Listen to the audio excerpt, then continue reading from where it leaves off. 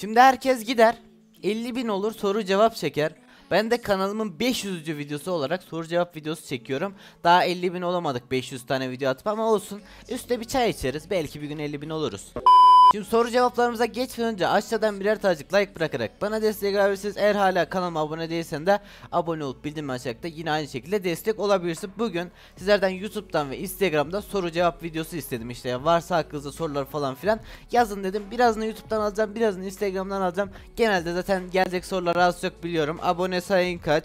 Abone sayın ne zaman açacaksın? YouTube'dan ne kadar kazanıyorsun? Sevgilin var mı? Falan filan azıcık göz gezdirdim. Hep genelde bunlarda. Şimdi isterseniz hızlı bir şekilde J'den açalım bakalım sorulara. Şimdi ilk soruya geldik. İlk soruyu Neşet Çalışkan sormuş ve demiş ki abonen kaç?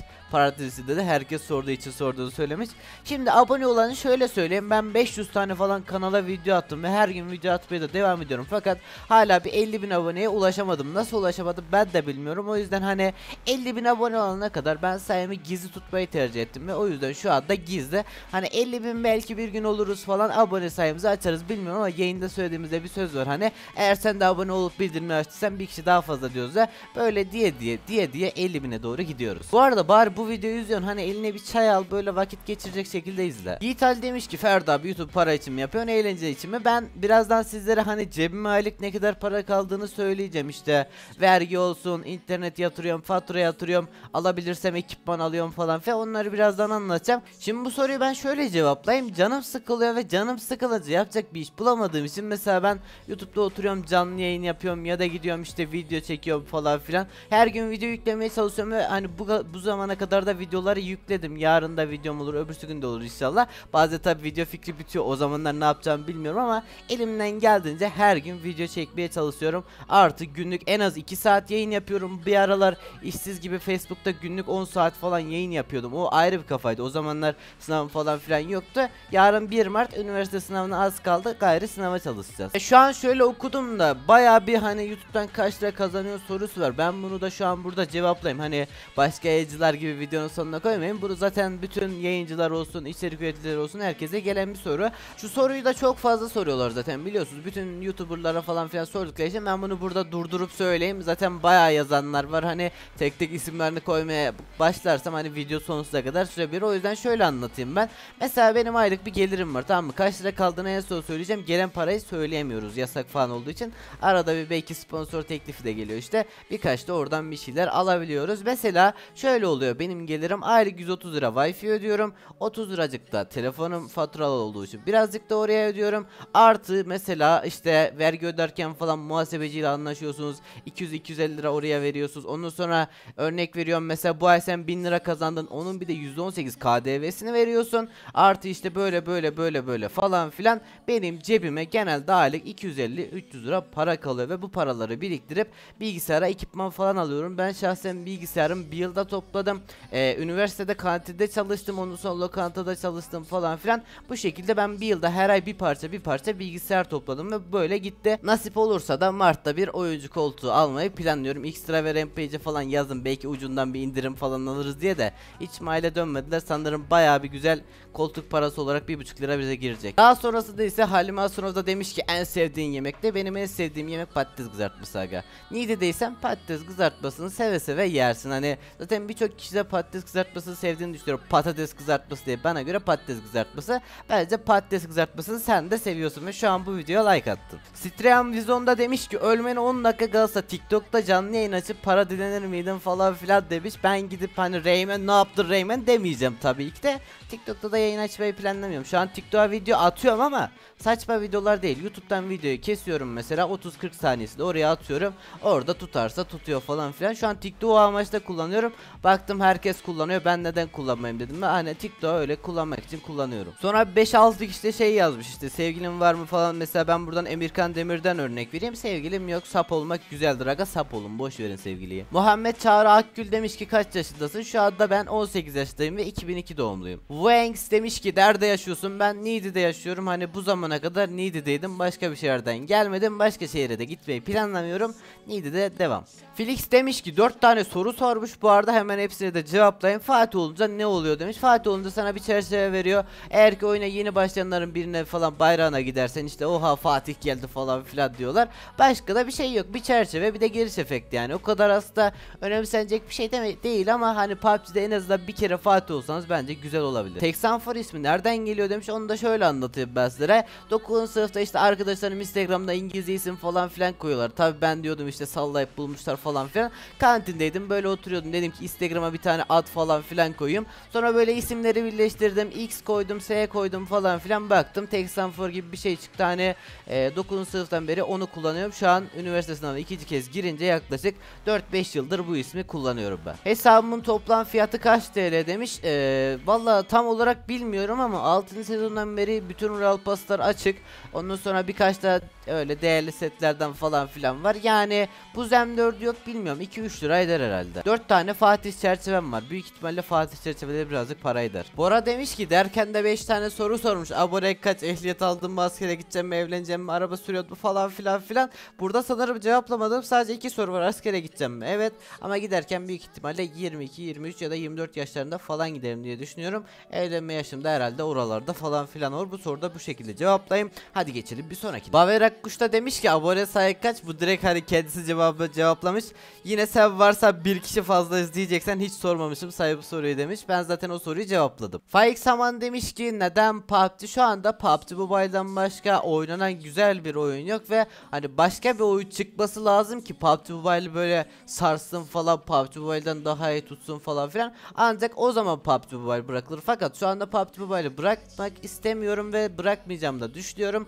3 yıldır PUBG Mobile oynuyorum. Hani oyun çıktığından beri oynuyorum. İlk önce bu oyun çıkmadan önce zaten Ross vardı. Birçoğunuz bilir. Onu oynuyordum. Sonra ben bu oyun çıkmıştı işte. ikinci gün falan indirmiştim. Birinci gün internete yoktu. İkinci gün hatta hattım yenilenmişti falan. Hani fatura internet oluyor ya. internetim yenilenmişti. Öyle güncellemiştim falan. Öyle şeyler yapmıştık. Tabi o zamanlar benim wifi'm yoktu. Atakan Oktay demiş ki bilgisayarını kaça topladım? Ben bilgisayar değildi. Şu an hani burada masamın üstündeki ekipmanları sayarsam rahat rahat 10 bin liraya geçtiğini düşünüyorum. Mesela şu an beni gördüğünüz kamera Logitech C922 Pro. Bu arada sponsor falan filan değil. Ben kendi elimle verdim parayı. Şu anda mesela 1200-1300 lira diye biliyorum bu kameraya. Softbox'lar 130-150 lira o var. O sonra şu an yeni monitör aldım işte chat monitörü yaptım. Eski monitörümü falan 1400 lira bu monitöre verdim. Bunların hepsini de bu arada tek ayda ben alamam yani 2-3 ay biriktirdim 2-3 ay biriktirdim falan filan.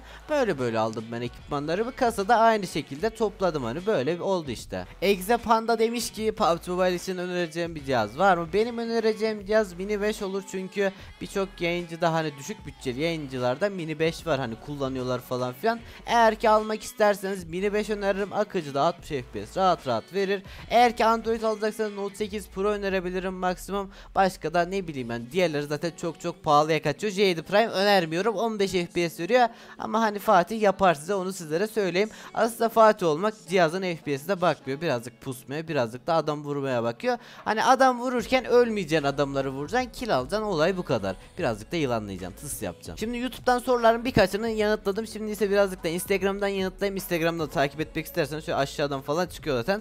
Takip edebilirsiniz. Hemen şöyle Instagram'a da geleyim. Mesela Hamza Önder demiş ki neden rank kasıyorsun? Ben onu şöyle anlatayım. Rank kasmamın amacı aslında şöyle bir şey. Hani birçok kişiye Fatih nasıl olabilirsiniz onu gösteriyorum. Eğer ki bir gün mobil bir cihaza geçebilirsem bu J'den kurtulup hani gücüm yeterse bir mobil yayın yapmak için ileride bir gün hani geçersem böyle bir iPhone 8 Plus yanına bir Elgato bir kablo alırsam 10 bin lira civarı tutuyor. İnşallah hesaplarsak böyle gidersek güzel bir sponsor falan filan gelse yani bir 4-5 aya inşallah mobile geçeriz. 54 Aymen demiş ki sınavı kazandıktan sonra YouTube bırakacağım. Ben YouTube bırakmayı planlamıyorum. Üstüne YouTube'dan devam edeceğim ve artı hani üniversiteden bir meslek okuyup onu ikinci mesleğim olarak kullanacağım. YouTube'da yayıncılığa devam etmeyi planlıyorum. Mesela canı sıkıldığında oyun oynuyorsun, yayında sohbet ediyorsun, chatte sohbet edebileceğin insanlar falan filan oluyor.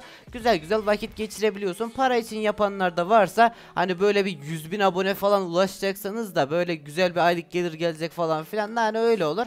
Düşük kanalken pek fazla bir gelir kazanamazsınız. Mesela ben sizlere söyledim hani aylık ne kadar kaldığını bana. Duygu Er demiş ki gelecek sezonda tekli rank kasacak mısın? Evet yine tekli de Fatih'e kasmaya devam edeceğim ve her sezon büyük ihtimalle tekli de Fatih olurum diye düşünüyorum. Başka bir yerde kasmayı da düşünmüyorum. Mobile geçersem demiş olduğum gibi ilk 10'a falan kasmaya çalışacağım hani büyük ihtimalle de ilk 10'da beni görürsünüz 3. şahıs tekli de kesin ve net yani. Emre TSN 48 demiş ki YouTube'a YouTube'a başlamak nereden aklına geldi? Bu arada koltuk alabilmeye yaklaştım mı? Koltuk nasip olursa biriktirdiğim paralarla Mart'ta birazcık daha biriktireceğim. Birazcık daha evdekilerden almaya falan filan çalışacağım. Nasip olursa Mart'ın 22'sinde bir koltuk sipariş etmeyi planlıyorum. YouTube'a da nasıl başladın dersen ben mesela zamanında hani hala da izliyorum bu arada. Barış Bravo olsun, EHC olsun falan filan. Onları ben Clash of Clans falan izlerken, Clash Royale izlerken tanımıştım. İşte kendim gitmiştim, bakmıştım, bakıyordum böyle işte Clash Royale'de klonlama zamanları vardı. Eski oynayanlar bilir. Ben de dedim ki hadi ben de gideyim bir klonlama yapayım işte biriktireyim işte prenses falan vardı böyle alev blok atıyordu. Öyle öyle şeyler atıyordum ben zamanında. Sonra işte PUBG çıktı, PUBG'ye başladık falan filan. Böyle böyle değişik şeyler oldu. Dede Official demiş ki YouTube sana ne kazandırdı? Birkaç tane tanıdığım yayıncı abilerim var. Onlarla tanıştım YouTube sayesinde. Hani okuldan falan pek fazla benim bir dostum yok. Liseden kalan 3-4 arkadaşım var. Bir onlarla konuşuyorum. İşte 2-3 de yayıncı tanıdığım abim var. Onlar da zaten siz biliyorsunuz birçoğunuz. Hani toplasanız mesela benim telefon numaram 10 kişide var. Bu arada 10 kişi demişken hani evdekiler de dahil evdekileri de çıkarırsak 8 kişide falan. Yani bu sorunun cevabı da böyle değişik bir cevaptı. Şimdi diğer soruya geçelim. X Yusuf V de demiş ki yeni telefon ne zaman alacaksın? Valla şu an telefon almayı düşünmüyorum. Almak istiyorum ama hani gücüm mü yetmiyor? Belki ileride koltuktan sonra, ehliyetten sonra telefon alabilirim. Ehliyeti de şu yüzden aldım. Babamın arabayı kaçıracağım tabii ki de hani kendi arabam yok. Araba çok pahalı. Hani o da şöyle mesela ben Niğde'den şu an üniversiteye gitmek istesem iki kere servise binmem gerekiyor.